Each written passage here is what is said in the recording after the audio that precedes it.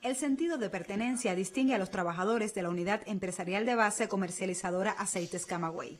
En tiempos de enfrentamiento a la COVID-19 se incrementaron allí los índices productivos que, aunque no satisfacen totalmente la demanda, sí han garantizado el sobrecumplimiento de los planes habituales y que el producto llegue sobre todo a sectores vulnerables. El plan mensual de nosotros está entre las 490 y las 500 toneladas de aceite envasado. Eso lo venimos sobrecumpliendo sin ningún tipo de problema. Al cierre de septiembre hemos sobrecumplido por más de 450 toneladas. Nuestras líneas de producción hoy tecnológicamente están preparadas para eso.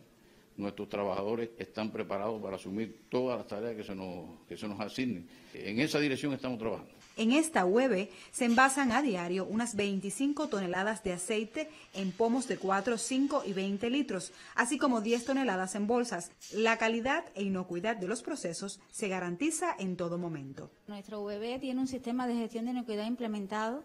Tenemos diferentes puntos críticos de control, la materia prima, en el almacenamiento, el envasado y el producto terminado. Medimos índice de acidez, índice de peróxido y materias volátiles. Hasta este momento siempre ha llegado con muy buena calidad oxidativa. En esta unidad, la mayoría de los trabajadores fundadores permanecen en sus mismos puestos de trabajo y el salario medio se estima en unos 1.100 pesos. Desde el mes de septiembre se comenzaron a envasar 100 toneladas más en bolsas de las habituales ante el déficit de pomos de un litro importados, los más solicitados por la población usualmente. Estrategias estas que se asumen pensando en el cliente nacional y en el desarrollo económico del país. En Camagüey, Jeter Palmero. Sistema informativo de la televisión.